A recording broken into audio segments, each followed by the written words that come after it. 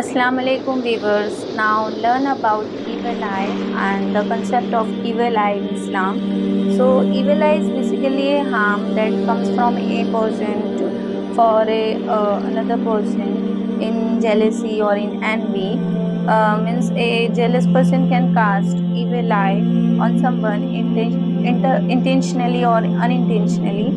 Uh, evil eye is misfortune cast by person by someone who is jealous and uh, it is defined in hadith where in one narration uh, Nabi sallallahu alaihi wasallam said evil eye is real and Hazrat Aisha radiallahu anha narrates that Nabi sallallahu alaihi wasallam said seek refuge with uh, Allah for the evil eye is real. This hadith is given in Ibn Majah and most of ummah will be affected by evil eye. Uh, in one narration, Nabi Sallallahu Alaihi Wasallam said, Most of those who will die from my nation or from my ummah after what Allah has decreed will be from the evil eye, which we call basically nazar. This hadith is given in Fat al Haq and precedes destiny.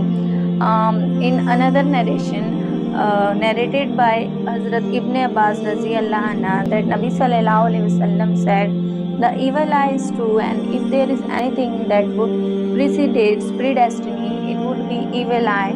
And you are, when you are asked to take bath from the influence of evil eye, you should take bath. This hadith is given in Muslim, cause of death. Uh, in another narration, Nabi Sallallahu Alaihi Wasallam said, uh, no, sorry, narrated by Jabir bin Abdullah Raziallah Anna that evil eye can take a person into grave and a camel into the cooking pot.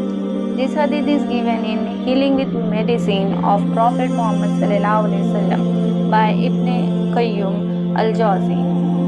Evil eye can cause sickness uh, and loss of wealth or family uh, to so to protect ourselves from this our prophet muhammad sallallahu alaihi wasallam uh, advises us to recite certain verses which include uh, surah al-ikhlas surah al-falaq and surah al-nas.